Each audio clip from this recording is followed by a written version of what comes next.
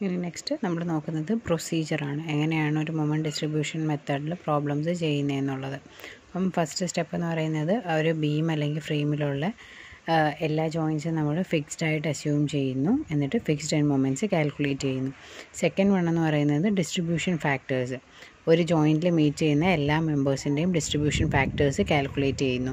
പിന്നെ തേർഡ് കണ്ടീഷനാണ് വരുന്നത് നമ്മൾ ആ ജോയിൻസിനെ ബാലൻസ് ചെയ്യുന്നു. ജോയിൻസിനെ ബാലൻസ് ചെയ്യുന്ന എങ്ങനെയാണെന്ന് വെച്ച് കഴിഞ്ഞാൽ ബൈ ഡിസ്ട്രിബ്യൂട്ടിങ് ബാലൻസിങ് മൊമെന്റ് എന്ന് വെച്ച് കഴിഞ്ഞാൽ ഒരു ഈക്വലാൻഡ് ആ ഒരു അൺബാലൻസ്ഡ് അവിടെ ഉണ്ടാകുന്ന അൺബാലൻസ്ഡ് മൊമെന്റിന് ഒരു ഈക്വലാൻഡ് ഓപ്പോസിറ്റ് മൊമെന്റ് അപ്ലൈ ചെയ്തുകൊണ്ട് നമ്മൾ ബാലൻസ് ചെയ്യുന്നു.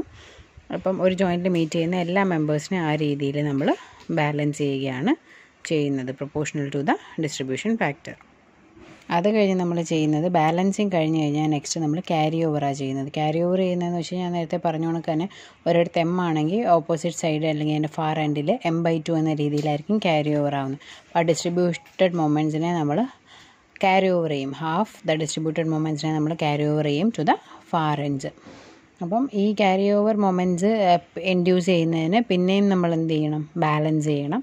പിന്നെ ആ ബാലൻസിനെ അഗെയിൻ നമ്മൾ ക്യാരി ഓവർ ചെയ്യുന്നു. അപ്പം ഇത് പോണക്ക് നമ്മുടെ balancing and carry over procedure നമ്മൾ കണ്ടിന്യൂസ് ആയിട്ട് ക്യാരി ഔട്ട് ചെയ്തുകൊണ്ടിരിക്കും until the balancing is negligible അപ്പം ഇതാണ് ഞാൻ നേരത്തെ പറഞ്ഞ കൊടുക്കാൻ ഒരു ഐട്രേറ്റീവ് പ്രോസസ്സാണ് അതുകൊണ്ട് നമ്മൾ ഇതുപോലെ ആ ബാലൻസിങ്ങും ക്യാരി ഓവറും കണ്ടിന്യൂ ചെയ്തുകൊണ്ട് തന്നെ ഇരിക്കും.